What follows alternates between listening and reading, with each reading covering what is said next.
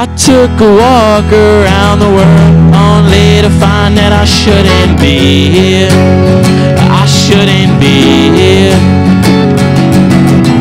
The ocean blue, I still bleed red. By the time I drown, I think I'm brain dead. I think I'm brain dead.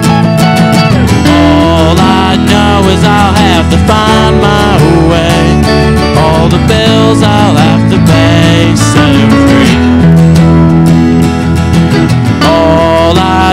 is I'll have to find my way. All the bills I'll have to pay, set 'em free.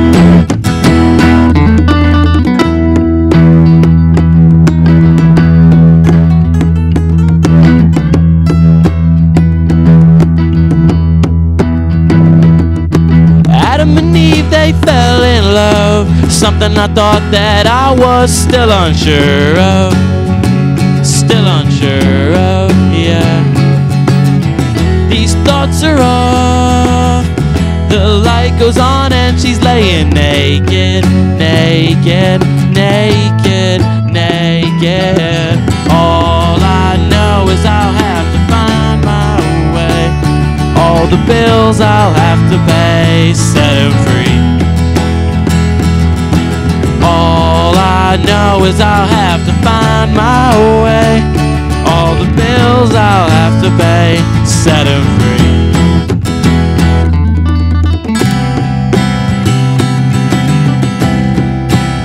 I had to feel. Oh my God, I had it all but you. It all but you. I had to feel. I had it all.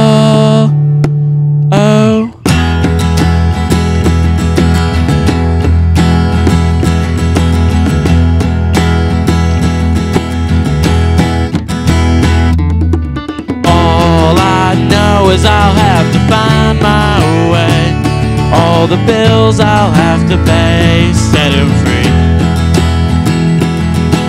All I know is I'll have to find my way. All the bills I'll have to pay, set 'em free. Set 'em free.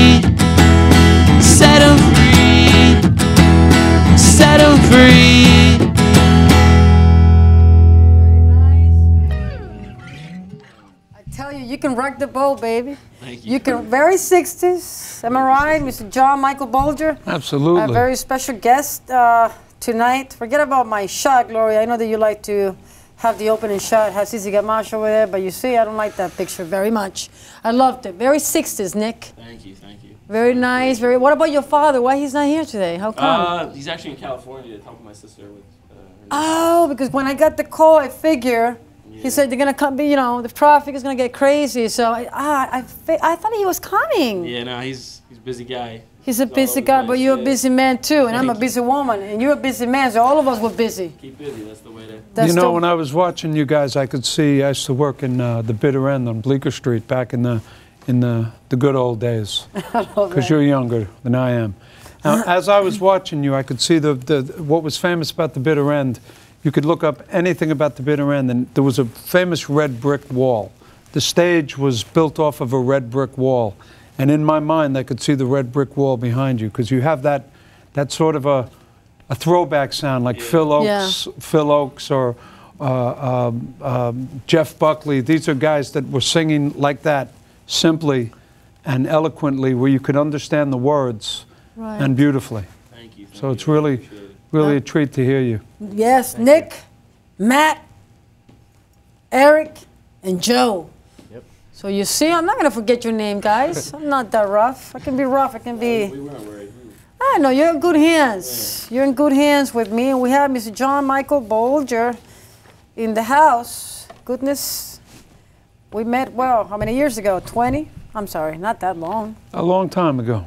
We're old people, John. I'm old people. we are old. You're middle, they're young, I'm old. No, we're all old. Our souls are very Uh, we're old souls, I agree, absolutely. So we agree with that. So I met you about a thousand years ago. I met 2,000 years ago, John. 350,000 years And- ago on a beach in Costa Rica. Yeah, nah, I don't know about that, All John. right. Dominican been- Republic?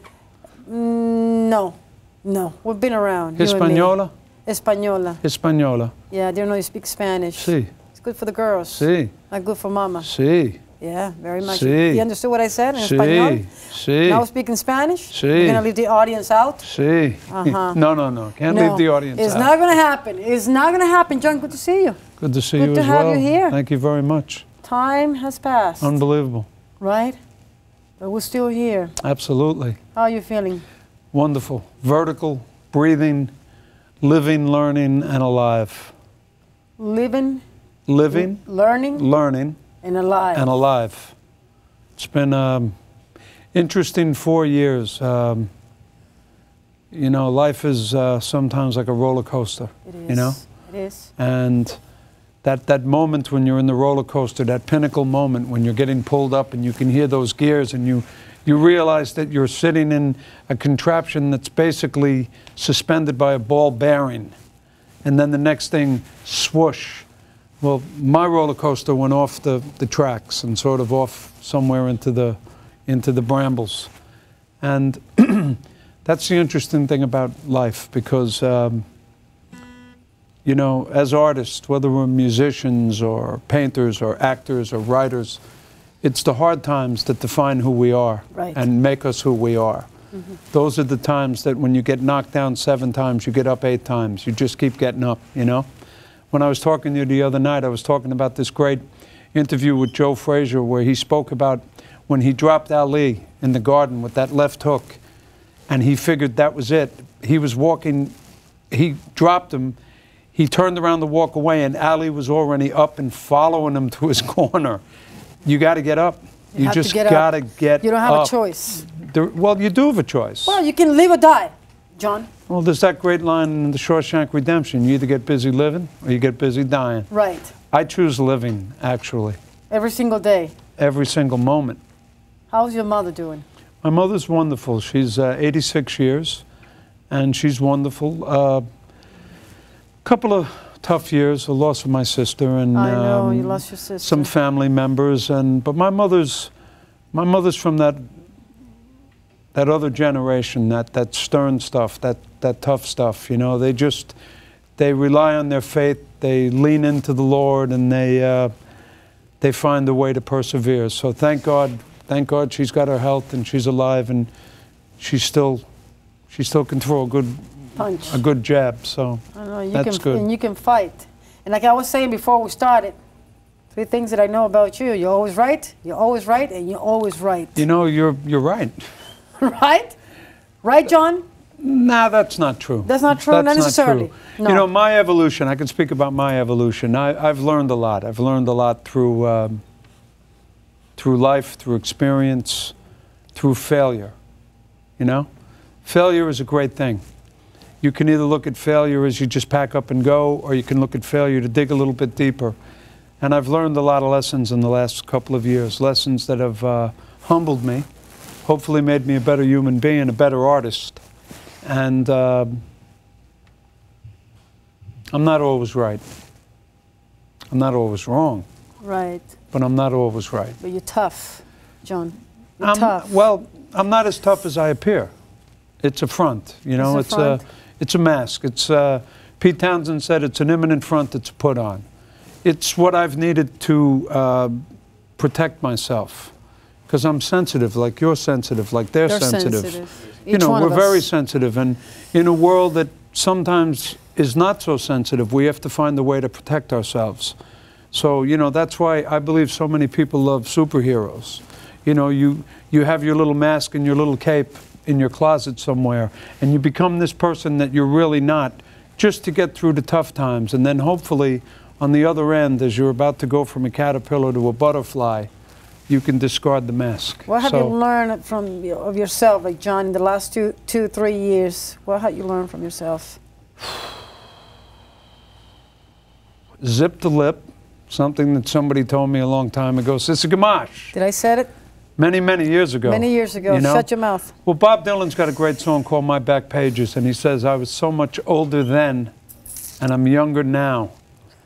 What I've learned in the last couple of years is that four years ago, I went in and had a, hip replacement, which I I couldn't speak remember. about I, the I last remember. time. I went to see you to the hospital. yes, you did. Phenomenal. Okay.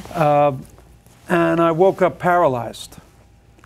And I was told I would never walk correctly again. I, I was told by uh, someone that if I if you have an, if you have a vehicle, get a disabled uh, parking pass and apply for disability.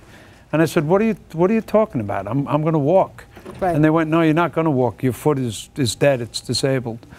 Well, I can tell you right now that with that foot, I could I could play striker for Barcelona Wow. or kick a field goal. You know, um, what I've learned is that the human body, if you leave it alone, respect it, and love it, it will take care, take of care of it. itself. Yeah. It's unbelievable. The, regener- the, the regenerative powers of the human body, also the spirit and the soul, and, and um, learning your life lessons as you're meant to learn them. And I've been learning them. Absolutely. I'm listening. I'm listening to you, John. I'm listening. Thinking about when you met my dad. Loved your father. Instant My- my simpatico. mother. Yeah. Yeah. And Joey. And Joey, We know when, each other when for I a met when I long met Sissy's time. parents and I met we, we were in your house um, in my place, and yeah. Joey was there and your mother could see how much I love you. She warned you in, in your in your native tongue. Be careful of Be this careful guy. Watch out for this. I was like, no, no, no, no, no. John i- is I. I Sissy, is- you're lovable. You're lovable. You're lovable. It's just the way it is. Sweet. To know you is to love you. Period. To know you is to love you. God, I like that. It sounds nice. Beautiful. I want to talk about your book, Absolutely. Stoop to Conquer. Let's talk Yes, about that. Yes. Well, I went to Catholic school when I was younger, and the nuns, the uh, Dominican nuns of Blauvelt, taught me penmanship. So I figured one day maybe I'll use the penmanship. So I got inspired by a, a, a great writer named David Milch, who told me I should try writing. So I started to put number two lead pencil to legal pad, and I wrote a story called Stoop to Conquer. It's a coming of age story about Hell's Kitchen in 1980. 1980. It has uh-huh. nothing to do with the Irish gangsters or anything else. It's a fiction novel. It's a depiction of my life and a lot of my friends put together during that time.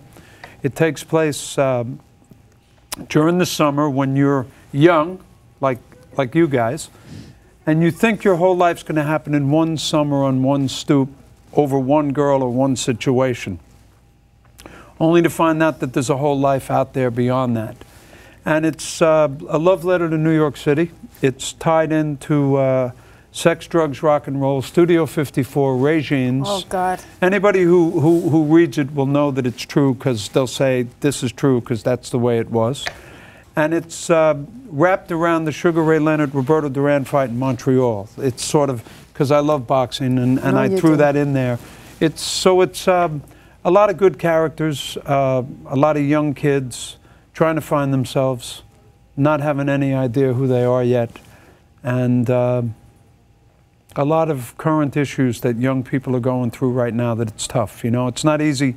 I love that uh, uh, Dr. Schultz. Uh, it's not easy being green. You know, it's not easy being green. It's not easy being different. It's not, easy being, It's not easy being human, uh, John. Yeah, but but when you're a kid and you want to play music or you want to tell a joke or you you, you want to act or you want to be in a play, uh, you know the peer pressure and the bullying and the, you know, it's not easy. So